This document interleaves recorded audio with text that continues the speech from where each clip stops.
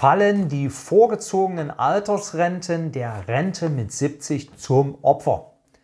Mein Name ist Peter Knöppel, ich bin Rechtsanwalt und Rentenberater von Rentenbescheid24.de. Sehr geehrter Herr Knöppel, ich habe am 8.8.2022 ein Interview in der ARD mit Professor Bernd Raffelhüschen gesehen. Er fordert ein höheres Renteneintrittsalter und zusätzlich eine moderate Rentenkürzung. Ich habe den Eindruck, dass man die Bevölkerung so langsam auf dieses Szenario vorbereiten will.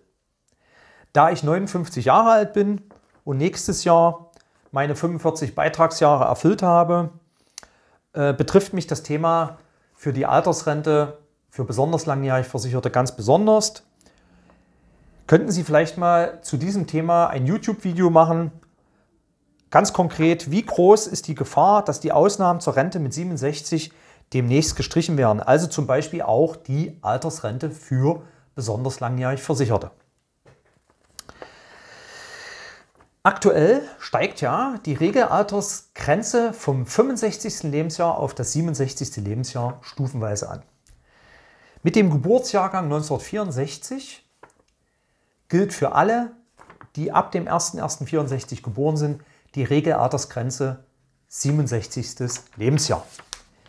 Die Altersrente für besonders langjährig Versicherte ist 2012 eingeführt worden. Damals galt 45 Jahre Wartezeit und das 65. Lebensjahr.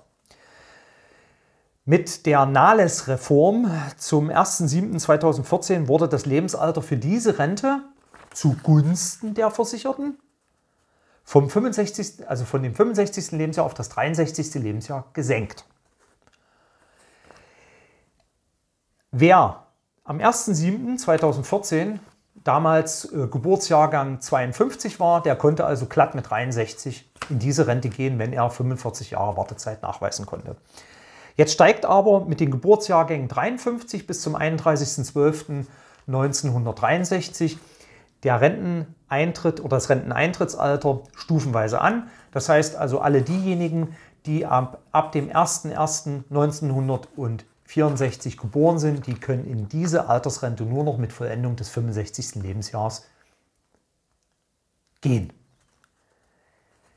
Da wir jetzt schon das Geburtsjahr 1959, 1960 haben, steigen natürlich für bestimmte Altersrenten auch die äh, Renteneintrittsalter an. Und ich kann nicht erkennen, warum der Gesetzgeber diese Ausnahmen streichen sollte.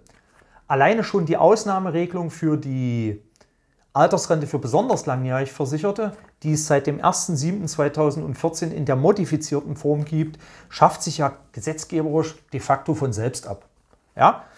Alle Menschen, die ab dem 1.1.1964 geboren sind, können in diese Altersrente, Altersrente für besonders langjährig Versicherte, erst wieder mit Vollendung des 65. Lebensjahres gehen.